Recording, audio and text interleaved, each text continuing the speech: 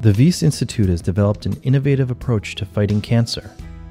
This approach was developed in collaboration with biologists, clinicians, and researchers at the Dana Farber Cancer Institute and Harvard School of Engineering and Applied Sciences. Cancer is able to grow because tumors are made of the patient's own cells, which the immune system does not recognize as a threat.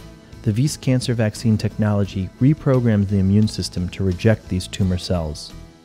The vaccine is a spongy, porous matrix approximately the size of a standard aspirin tablet and is implanted directly under the skin near a lymph node.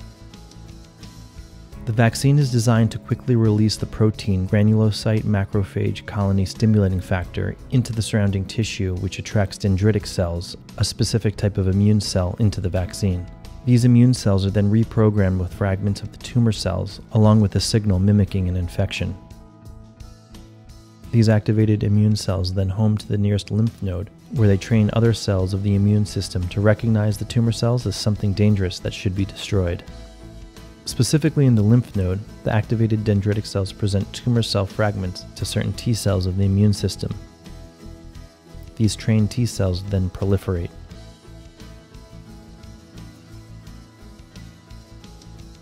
These cytotoxic T cells circulate throughout the body looking for any of these same tumor cells to attack and destroy. The vaccination not only could destroy tumor cells, but it could also create immune memory which could provide a long term protection against tumor reoccurrence. The vaccine safely degrades over time and is then excreted by the body.